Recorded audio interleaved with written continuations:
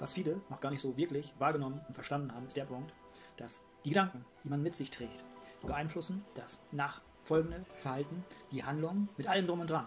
Wenn man jetzt als Beispiel denkt, das Wetter ist nicht schön, dann sagt man sich infolgedessen, ich wollte eigentlich nach draußen gehen, aber weil das Wetter nicht schön ist und man sich das gerade eingeredet hat, geht man nicht nach draußen. Also, man macht nicht diesen Schritt und indem man eigentlich nach draußen gehen wollte und diese Denkweise gerade fest verankert ist und sich sagt, das Wetter ist aber nicht schön, geht man infolgedessen nicht raus. Wenn man sich vorher schon sagt, derjenige, wenn ich den anspreche, dann wird er negativ darauf reagieren. Dann ist es meistens auch so, spricht man diese Person gar nicht erst an, weil was könnte passieren? Richtig, man bekommt etwas zu hören, was man nicht erwartet hat. Irgendwie Kritik oder ein Ausdruck, der da so zum Tragen kommen kann, den man nicht versteht und überhaupt nicht beabsichtigt mit dieser Kommunikation, die da stattfindet.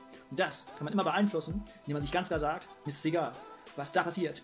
Man macht sich keine Gedanken, sondern man kommt ins Handeln.